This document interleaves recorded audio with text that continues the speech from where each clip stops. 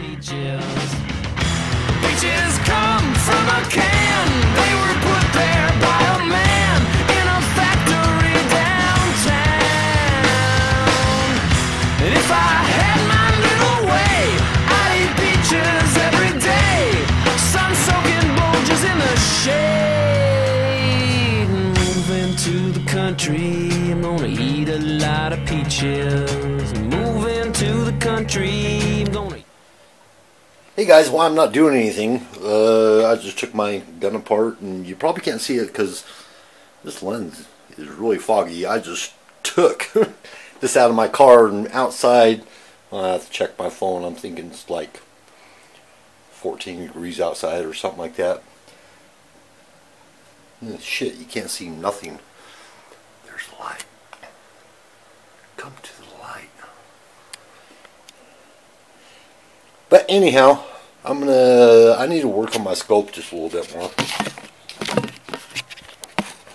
See if I can get that to stay. It's all fogged up.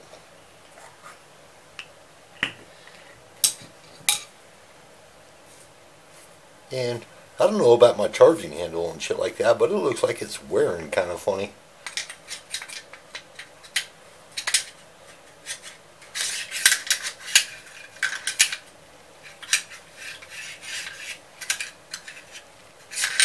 I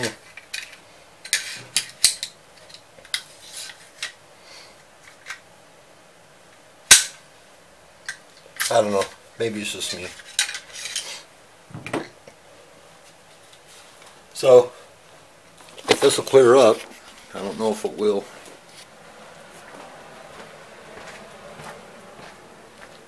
Oh yeah, really foggy. Uh, this is worthless even putting this on, so I'm gonna let it uh, kind of warm up a little bit and maybe I'll get back. Bye. She opened the door and it was deer standing right here on the doorstep. Scare the hell out of her? Yes, it kids scared the hell out of her.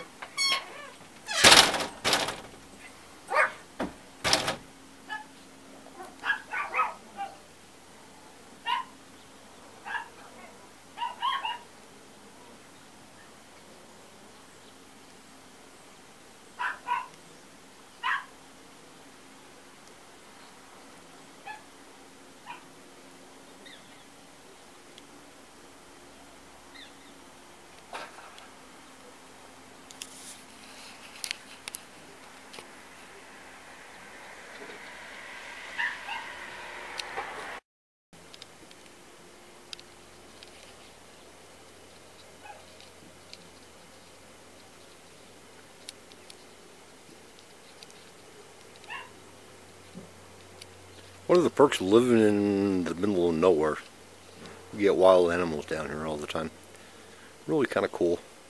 Uh, they're actually right up on our front doorstep. There's, uh, I don't know if you can see it or not. There's deer shit all over our driveway. So they like to come in and eat our shit. But yeah, it's pretty cool. Hi guys. Millions of peaches, peaches